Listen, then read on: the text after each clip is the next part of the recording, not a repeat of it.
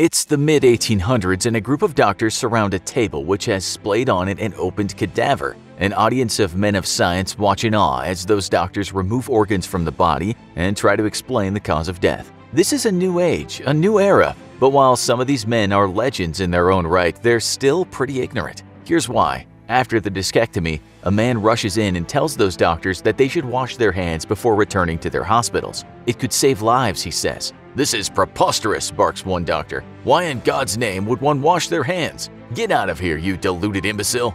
Welcome to the sad, wonderful, and wacky world of how hand washing got started. You see, at the time, those doctors were in fact about to change the world. They were champions in an era which could be called the medical enlightenment. This was the time that surgeons were understanding the human body much better than ever before, when illness and disease was no longer being blamed on a person having a demonic sensibility. Opening up bodies was nothing new. In fact, in the 17th century, the company of surgeons in London would often dissect convicted murderers in public. After all, they'd been hanged, of course. London wasn't quite Westeros, although body snatching was all the rage, because those doctors and surgeons needed more training.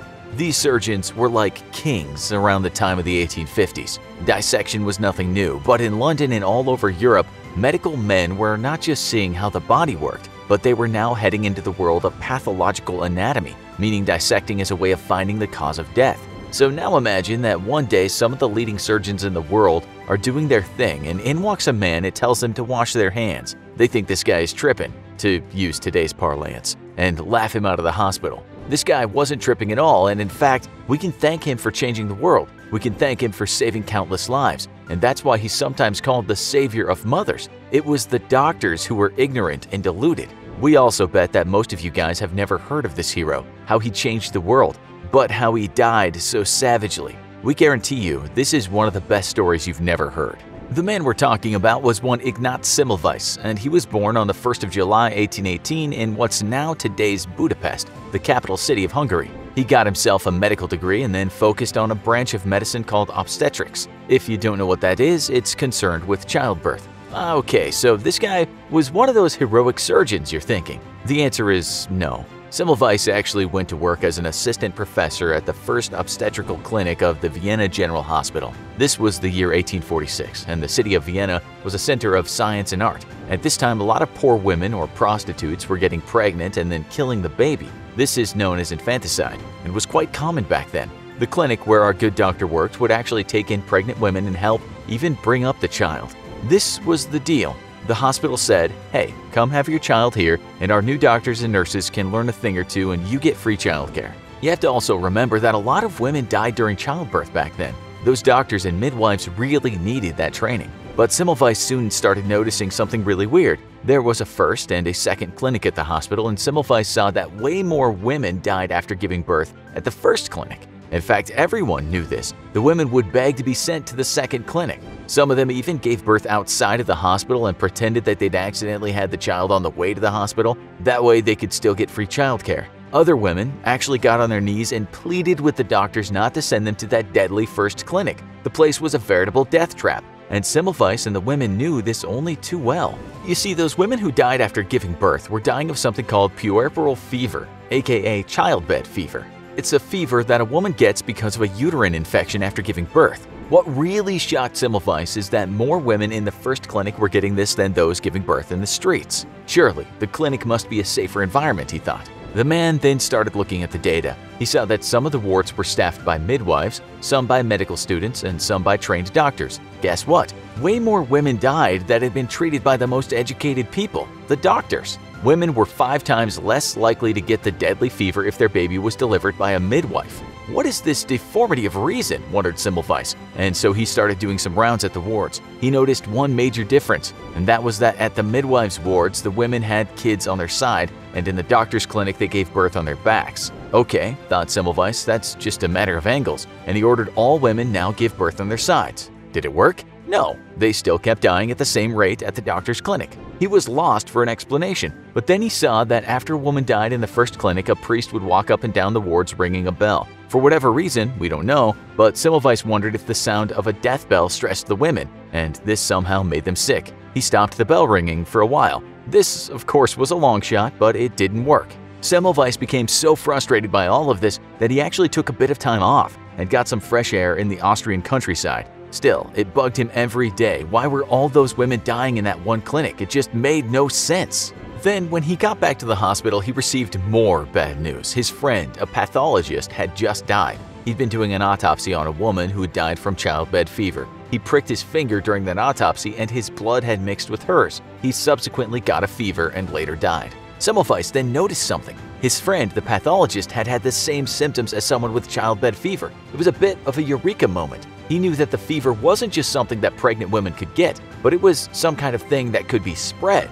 Then he had his second eureka moment. He realized that the doctors at the first clinic did a lot of autopsies, but that the midwives at the second clinic didn't. He thought about his dead pathologist friend and started connecting the dots. This disease, he hypothesized, can be carried from one person to another. This may all seem very elementary to you guys watching, but you have to remember that germ science wasn't invented yet. Physicians had for years written theories about how diseases were spread, but microorganisms and pathogens were not understood. Semmelweis considered that in some of those cadavers that were being dissected, there were small particles of disease. After digging around, a doctor would transfer that disease with his own hands to a pregnant woman. Particles from the corpse's blood was getting into the woman's blood, and then she died, infected from a dead person with the vector being the good but ignorant doctor. Semmelweis then told everyone to wash their hands with soap and water, and after that, chlorine solution. The latter is actually an amazing disinfectant, but Semmelweis didn't know that because he didn't really understand germs. He just told them to use it because it cleared up the smell of the corpses on the doctor's hands.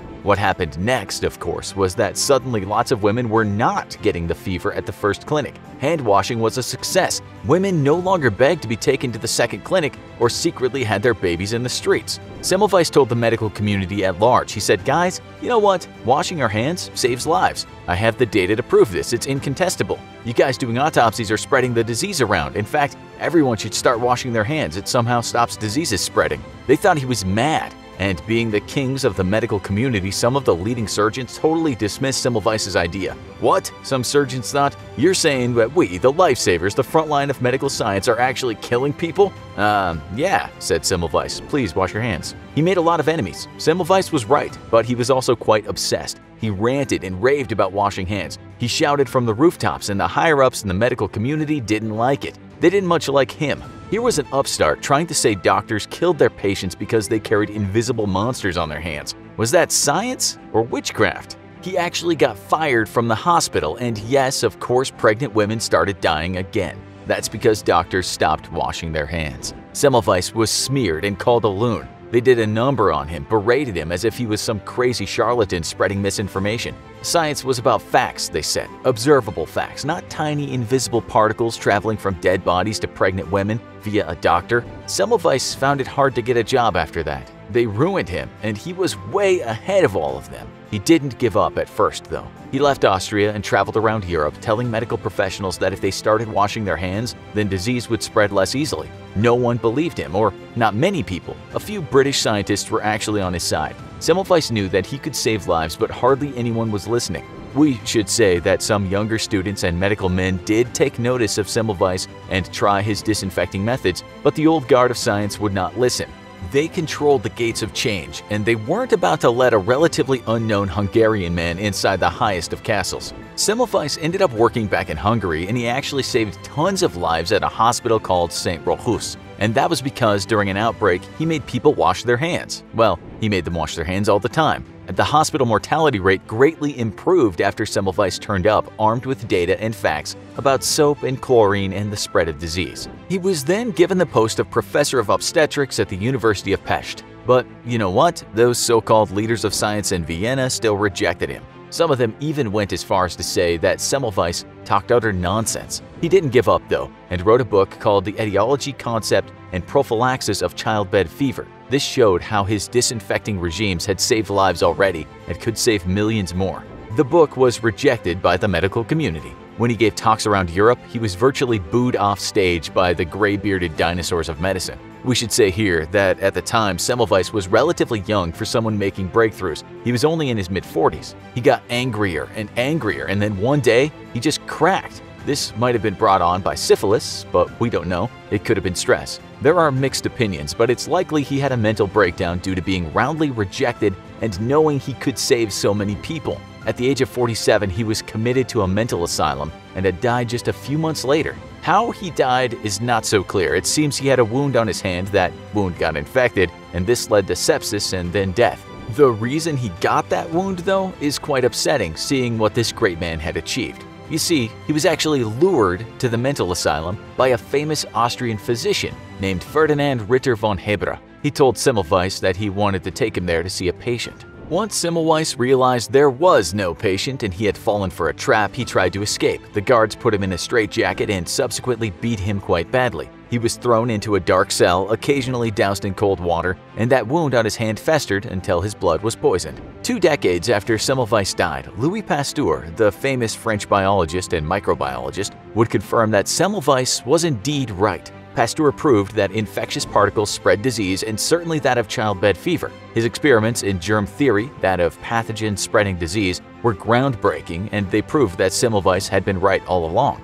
British scientist Joseph Lister, who's now called the father of antiseptic medicine, some years later said Semmelweis should be hailed as a hero. Finally, medical science believed him. Lister wrote, I think with the greatest admiration of him and his achievement, and it fills me with joy that at last he's given the respect due to him. Sometimes the old guard just reject new groundbreaking ideas, and that still happens today. But there's a happy ending to this story, because when that happens and it turns out that the larger intellectual community is wrong, we have a term for what they suffer from. That term is the Semmelweis reflex. For more things you should be scared of, go watch Diseases That Will Kill You the Quickest. Or if that's not your liking, take a look at this.